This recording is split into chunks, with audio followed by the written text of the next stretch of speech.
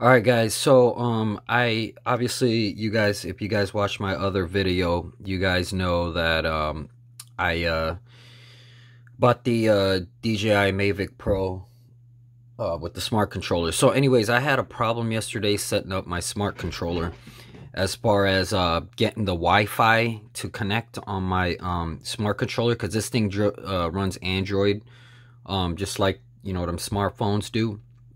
So you could actually swipe down and go to the Wi-Fi. But when I try to register my product, it wouldn't work.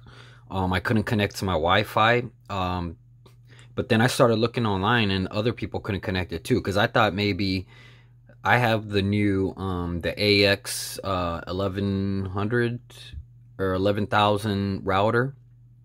Just the brand new one, the one that has the Wi-Fi 6, the AX, the ones that the um, the Samsung S10 Plus that one uh, has an antenna for. So it's like a you know brand new type of technology router. Most um don't even use the AX style. But anyways, I try to connect with it, and um, I would just get the uh, nothing. It wouldn't connect. Usually it would show like a Wi-Fi signal that would show right up here, but it wouldn't connect. So the only thing that I was able to do now, some of y'all might not be able to do it, but um, you might have to go out in public with your controller and take your drone and maybe leave it in your backpack or something and have it connected. But what I did was um, I had to use one of my smartphones and put put it on um, the hotspot enabled.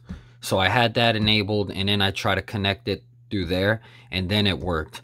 Um, you you guys if you guys need to know how to do that you could leave a comment below and then i'll like i guess i'll walk you through the process but most people would know. You just go into the settings and then turn on wi-fi hotspot. Then you go into the uh the wi-fi settings here and then um you could like refresh it by um pressing several ways to do you can press this off and then on. And then your um wi-fi hotspot whatever it's called like mine was called the samsung s10 plus blah blah blah wi-fi hotspot, it'll just pop up here once you refresh it. And then you just go there, type your password in, and then you connect it. Um, I heard mo like most uh, Wi-Fi's like now, mine has a three channel or something. So it has two 5 gigahertz and one uh, 2.4 gigahertz channel. Um, I aggregated them together.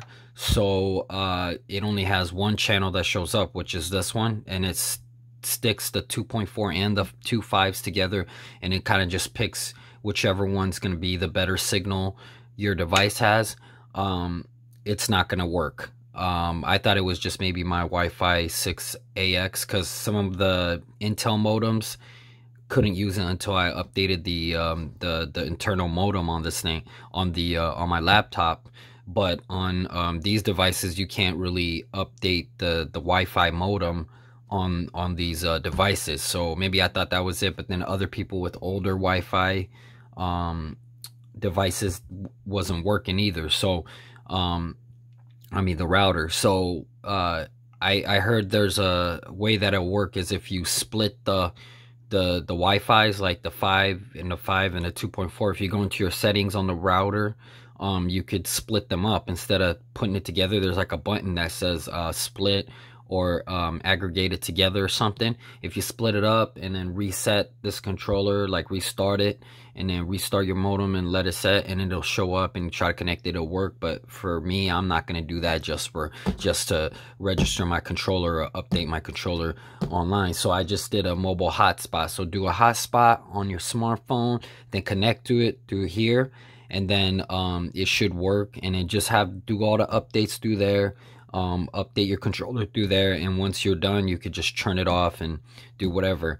Um, I don't know man. I'm gonna go ahead and you know call DJI or send them email or something to say you know what's what's going on. You guys need to update it. It's not working. It might be their modem inside like a hardware issue. I don't know but that's the um, the workaround that I found for that. All right